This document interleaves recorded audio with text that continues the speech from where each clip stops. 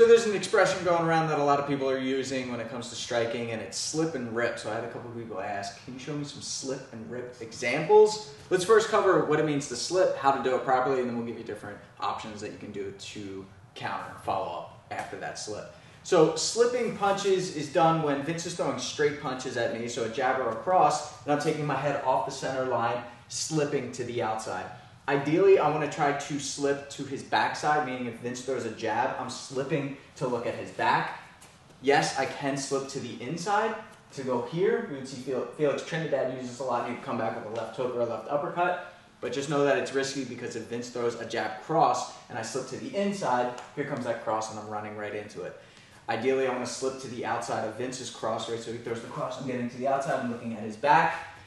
The ideal situation is to get to the backside but know that if you do slip to the inside of a punch, you're not necessarily uh, in a bad position. You just have to be quick with your follow-up strike, follow-up attack. But one thing that I like to do is, if I do slip to the inside, Vince there's a jab and I slip to the inside, is I like jamming up his cross hand so that he can't throw it. So when we when I teach slipping and when, when you practice your slipping is you want to make sure that you are keeping your opposite hand up and protecting your head as a layer, an, an added layer of defense just in case because what will happen is oftentimes you'll slip and your hand will go down here like this. But if I misjudge, I think it's a jab and it's really a cross, and I go here, bang, Vince is going to catch me with that. Whereas if I slip and my hands are up, now I'm protected and I have this block that's built into my defense. So you will notice that when your hands are low, it's a counterweight and a counterbalance, and you do move a little quicker and you're able to pull yourself back. You're, you're making yourself a little bit more top heavy when your hands are up, but all that means is that you just have to practice it more often, build up those muscles, and make sure that your feet are in proper position when you slip.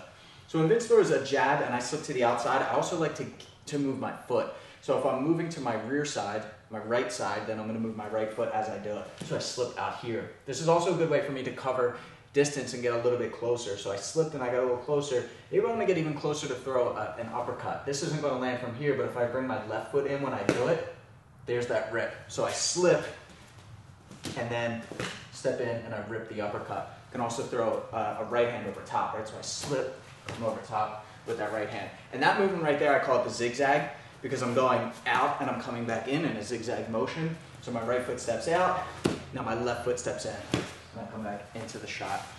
I can also slip, again, Vince's right hand, so he throws the cross, slipping to the outside, and then I can throw the body shot. I can throw the uppercut. Uh, I can also come over top uh, with that with that lead hook. So there's a couple of different options when you're slipping and you come back with your counter punch. But just remember to keep that in mind that your head's getting off the center line by compressing or tilting the upper body, and you will feel that skin fold, that crunch in the oblique when you do that. Um, but I also like to move my feet as I do it so that my head is supported over that foot. Whereas if I'm here, I might be a little bit too top heavy, might be too hard for me to come back for my counter shot.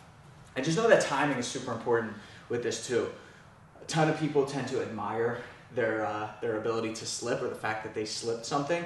So Vince throws a jab and they'll go like this. Oh, awesome! I slipped the punch. Well, here comes Vince's follow up shot, and he's going to catch me there. So again, you got to be thinking three steps ahead. So once I slip that punch, what's my counter there? So I slip and I'm coming right back. There's no hesitation in between. A good way to get your uh, partner, your sparring partner, or your opponent to throw something that you want is to throw that exact strike. So if I want Vince to throw a jab because I want to slip it, I'll hit him with a jab first. So I go boom, he goes, oh right, I want to throw a jab. Now I here's my slip, and I come right back. I want him to throw the right hand, so I'll go boom, power right hand. He goes, ooh, you want to trade power? I get him to throw it. I'm expecting that, and then I evade it, and then come right back in to slipping that shot. The one last one I want to share here is uh, is kind of combining the two. Is I was showing getting to the outside and then coming back with that same side strike.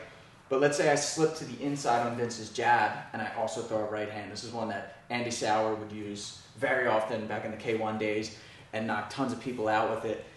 When Vince throws his jab, if he just extends his arm out, um, it's, it's a threat. I have to be wary of that, but he's also exposed. The moment you throw any strike, you're exposed. The body's exposed and the head is exposed. If I can slip my head to the inside and also throw an overhand right. This is a great position here, a great way to counter the jab. So when Vince throws that jab, bang, I'm coming right over top of the shoulder, putting pressure onto the lead leg, and I'm combining the slip and the rip together, right? So it's a slip, that's a rip while slipping. there you go. All right, so there's a couple uh, slip and rip options for you there. Got to practice in shadow boxing. so that you can incorporate it into your sparring so that you can then use it successfully in competition. All right, be sure to subscribe to get the fight tips before your opponent does. Until then, I'm Shane. Vince the Anomaly. Fight tips for the underdogs.